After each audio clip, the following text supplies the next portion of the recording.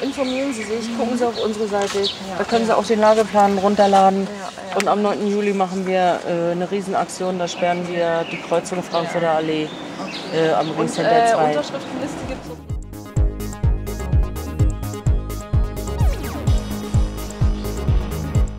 Äh, die müsste dann nochmal abgerissen werden, aber so soll das dann sein. Ähm, ja, es ist eine Katastrophe.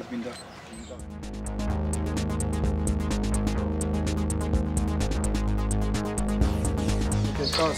Ich habe davon gar nichts mitbekommen. Ne? 111.000 Autos. An der Stelle stehen wir jetzt hier. Oder? In diesem Bauabschnitt geht's. Hier kommt die Autobahn äh, aus dem Tunnel raus, doppelstöckig.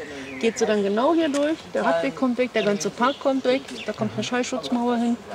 Aber die nützt nichts. Guckt mal auf die Webseite.